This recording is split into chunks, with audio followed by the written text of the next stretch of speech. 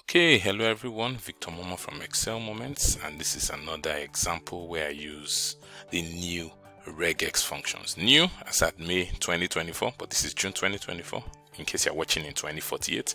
So I use the new regex functions, you know, to solve problems that have to do with, you know, pattern matching, pattern recognition. So let me show you the example I have here today. So what I've done is just to get a fictitious minute of meeting, right? That kind of lists what happened in the meeting and somehow you kind of have you know phone numbers of different individuals right? The good thing is that the phone numbers follow you know a defined pattern. So you have four digits you know three digits and four digits. So 11 digits in all. And that's kind of like how phone numbers are in nigeria. Trust me none of these numbers is mine. Okay so all right so you have four digits a hyphen three digits a hyphen and uh, four digits. So what you want to be able to do is to extract all the numbers you have in here you know from this text so that maybe you can send all of them you know a message or send you know the minutes to them via whatsapp. Okay? So how do we extract all those digits? Very simple when you use you know regex. The good thing is that there's a pattern. The question is how do you write it? So in this case we want to extract the phone numbers right? So what i'm going to use is i'm going to use a regex extract okay so i'm going to give you this as my text right? Everything is somewhere in there. I just collapsed it just to allow um, you know you see things properly here. Right now the next thing is we want to go into the pattern. So the pattern you know typically will start up with a double quote. Now the first thing is this what do we know? We know that what we are looking at are digits, right? Because phone numbers don't have alphabets, at least not yet.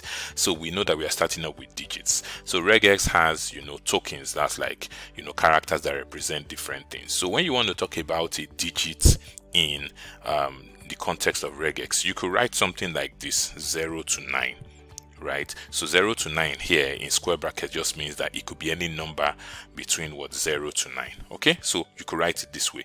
But the shorthand for that in regex is also a backslash and a d of course, if you're just writing a D, it will look like it's looking for a D character. So the backslash makes it know that this is a special use. So this is looking for, you know, digits, right? So slash D here just means any number between 0, you know, to 9. Okay?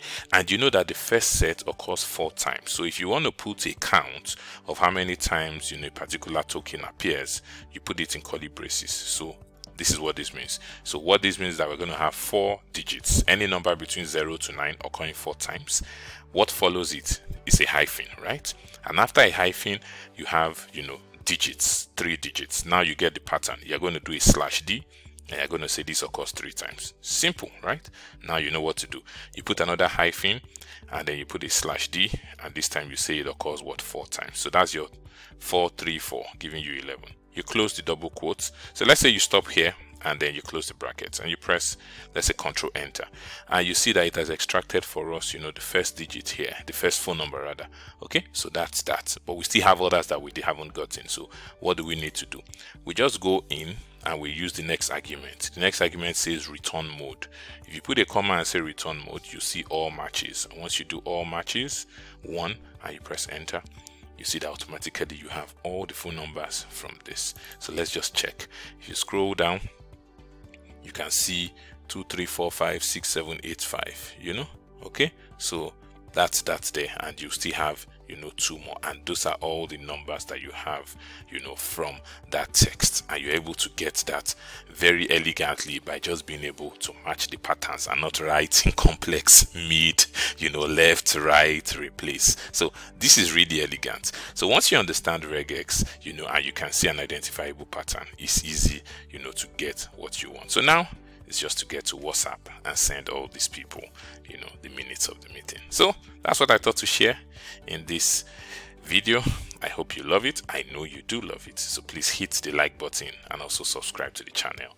Excel Moments. For now, I'm out.